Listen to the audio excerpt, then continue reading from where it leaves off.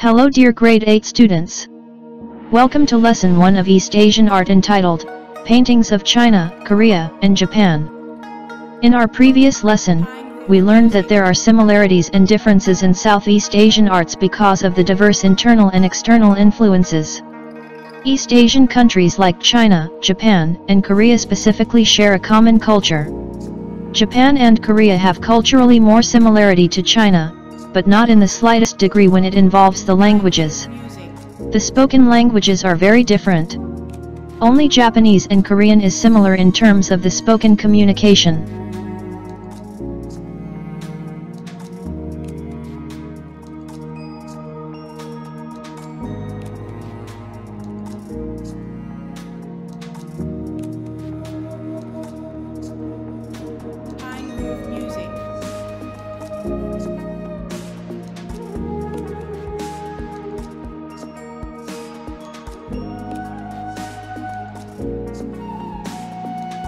Paintings of East Asia traditionally consists of subjects, motifs, or themes.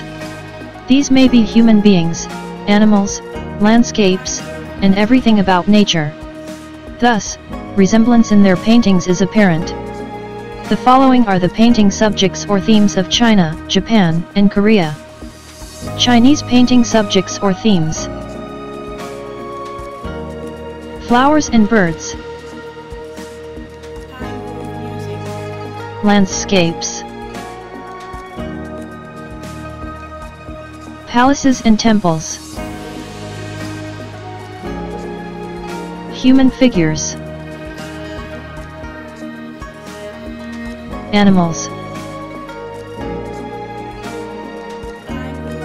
Bamboos and stones. The first example is the eight contemporary ink painters who are redefining an ancient Chinese art form by Xu Wei.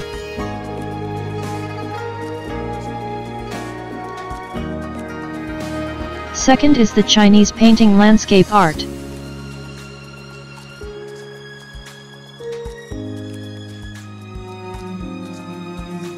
And the third example is the Birds in Four Seasons, the collection of Chinese flower and bird paintings by Yu Xiaowu.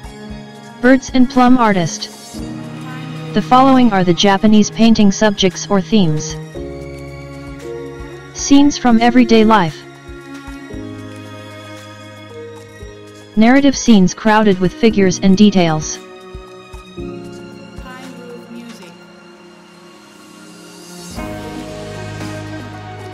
The first example is the Miwa Japanese art, the Ukiyo-e wood block print Keisai on the banks of the Sumida River year, 1830. Pinegroove Music. The second and last example is the Kuchi-e wood block print by Tsukahara Chikasa entitled, Lady Yaodo, year, 1907. Let's go the painting subjects or themes of Korea, North and South. Landscape painting. Minhwa. Four gracious plants, plum blossoms, orchids or wild orchids, chrysanthemums. Bamboo. Portraits.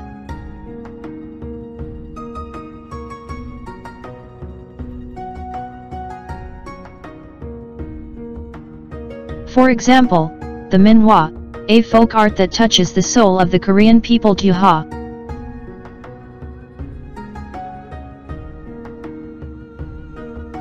And the portrait of Kong Io by Yi Jae-gwan, 1783-1837. There are seven important aspects in Chinese painting that you need to understand. 1. In Chinese painting, landscape painting is considered the highest form of visual art. Also, they regard the three concepts of their arts which are heaven, earth, and humankind, yin-yang, that play an important role in understanding the universe as well as in human nature. 2. The visual art of China conveys how man understands the relationship between man and Mother Nature. The paintings with its subjects are symbolical in meaning and the function. 3. The philosophy of Confucianism, Daoism, and Buddhism played a vital role in the arts of East Asia. The principles of these religions represent the essence of the traditional Chinese culture. The relationship among the three has been pointed out by both complementation and contention in history. 4.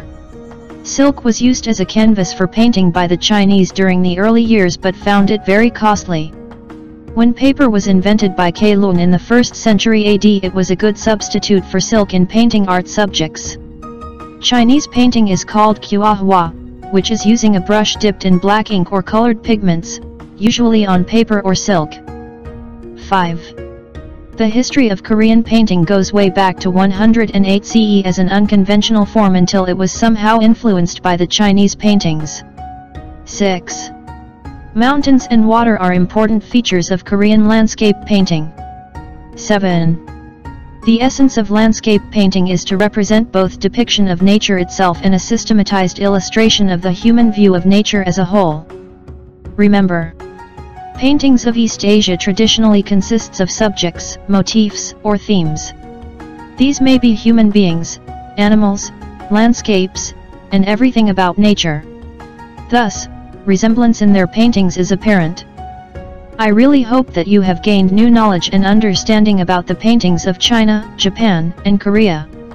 Good day and goodbye to all.